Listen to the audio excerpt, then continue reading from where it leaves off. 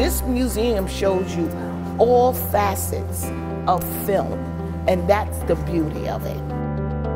Museum of the Moving Image is the only major institution in New York City that's exclusively devoted to the moving image. There's an energy when like-minded people are around one way or another. We're all attached to film and TV. Anything related to TV and film production, we use it as a tool to educate people.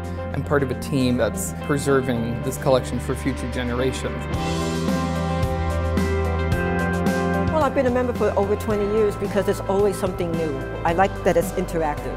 There's a lot of educational opportunities and workshops for the young people as well. So this is our ad maker workshop. We're going to specifically talk about political advertising. The majority of our students are immigrant students and they don't have the exposure to a cultural institution such as the Museum of the Moving Image. They come in every week and they're definitely enjoying themselves and learning things and being exposed to things that they would not have been exposed to otherwise. It has the wonderful retrospectives of great directors. You can see new movies and have a chance to learn a little bit more about the behind the scenes from visitors, producers, or performers involved with them. The main screen is huge. It's really, it's one of the biggest screens in the five boroughs, and the range of things that you can see on that big screen are just ridiculous. The magic of what film is has become more meaningful to me as I've been doing this job and it makes me really appreciate what I do.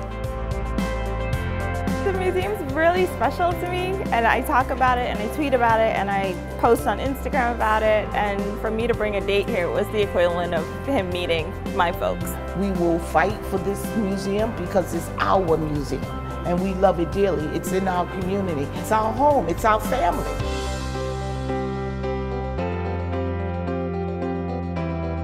The Museum of the Moving Image is breathtaking. Essential. A, a movie lover's paradise. It's simply a magical place.